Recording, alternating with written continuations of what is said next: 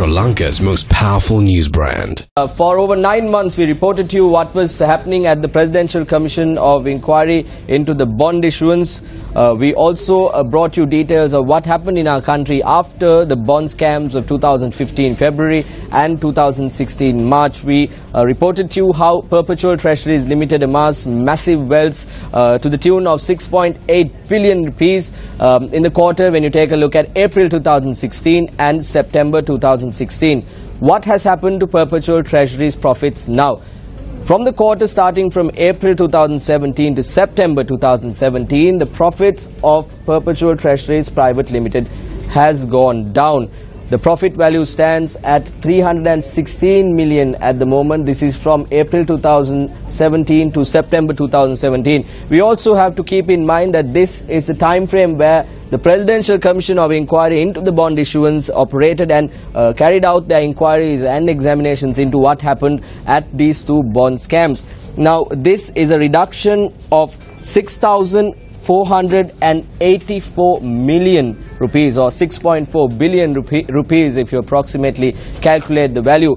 Um, you may ask me why this has happened, Arundhati. This happened uh, because the central bank uh, carried out an internal investigation into the bond scam uh, back in the day and they decided to ban perpetual treasuries from carrying out primary dealings or, or operating as a primary dealer. So this also resulted in uh, these uh, profits to be taken away from the perpetual treasuries uh, limited to this extent. Now, several people, several experts have been talking about the profits that have been amassed by this company. There were various allegations raised as the, at the company and uh, even the former governor of the central bank. We'll have a listen to what Vasanta Samarasinghe, the convener of the Voice Against Corruption, had to say about this. The profits for six months dropped from 6,500 million because this is all the money that they earned by robbing the central bank and the EPF.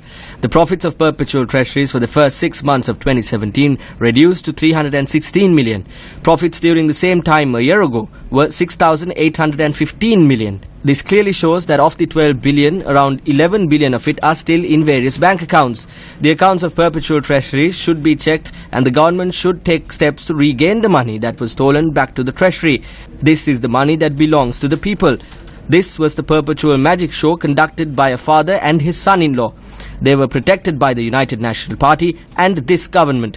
Who benefited and who received kickbacks has been clearly revealed. As Mr. Vasant Samarasinghe said, the retained profits of Perpetual Treasuries Limited stands at a staggering 10 billion rupees. While uh, people in one corner of our country are enjoying luxuries to this tune, there are various other people living across the country who are battered by adverse weather, high costs of living. This is the common uh, case in uh, almost all the people living in our country. If you take a look at the people living in the Kiralpatia area, Track 7, Track 3 villages and even Kukul Katua villages in Mahavilachya. This is just one example for you as to how people in our country, our own brothers and sisters are living amongst hardships, uh, working day and night to get through to the other day so that they can feed their children and their families. This is what they have uh, going daily. The usually lush green lands of Vilache in Anuradhapura district are barren today due to lack of rainfall.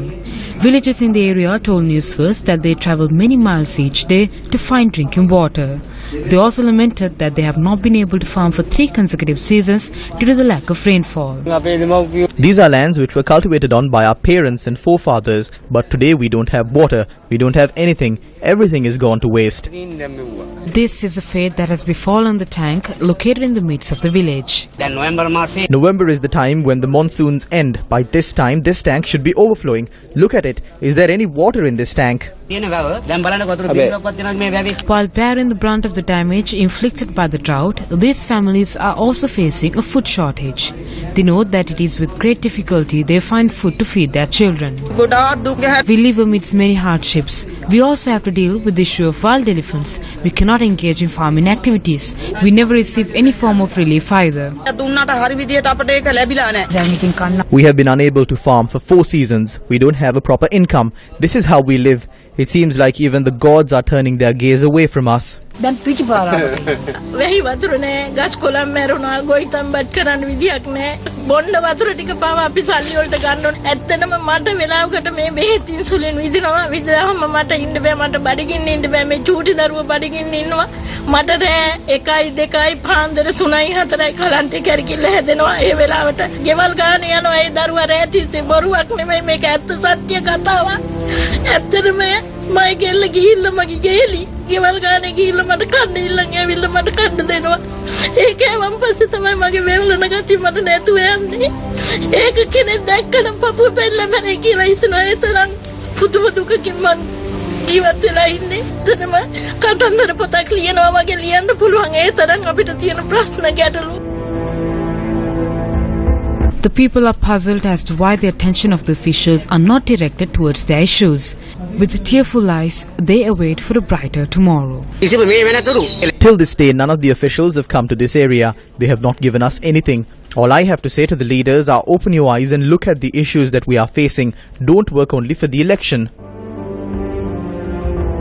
News First brought you details of a situation where there is once again misappropriation when providing tablet computers to school students. This was a promise by this good governance government when they came into power. They said that all uh, school students will have their own uh, tablet computer when they are doing advanced level examinations. Now, while we are not uh, obstructing these development projects carried out by the people. why we say it is the correct thing to do uh, to get these uh, children, uh, the students of our country, the access to ICTA, the access to information communication technology. If someone is trying to line their pockets through these uh, projects, through these uh, development projects that are being carried out, then the outcome of the project will be of no use. Uh, so we have an Action TV expose, a follow-up of a story that we have been uh, closely covering here at News First. Let's take a look at Action TV.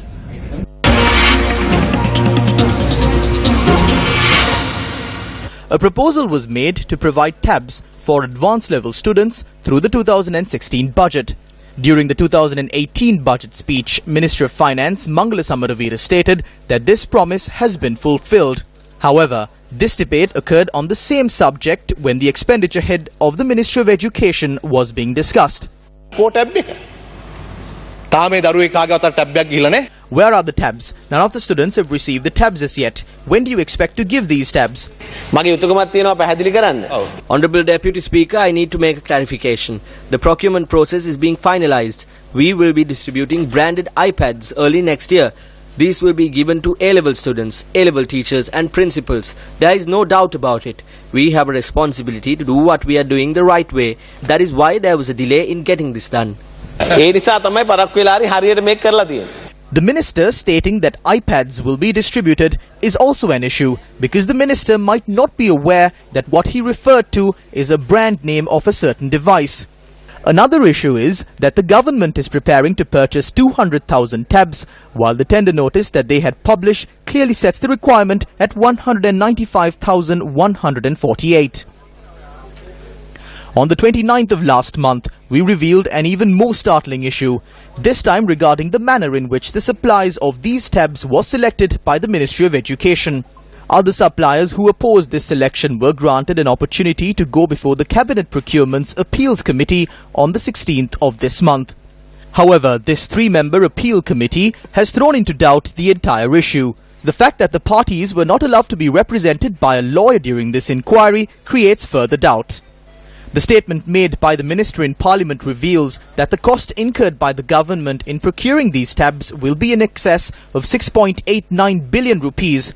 This procurement process is one where the requirements of the state were amended at the last minute so that it provided an unfair advantage to one supplier. The loss that the state will incur due to this transaction will be in excess of 2.7 billion rupees. The amount of foreign exchange that will be leaving the country as a result of this transaction will be over 22 million US dollars.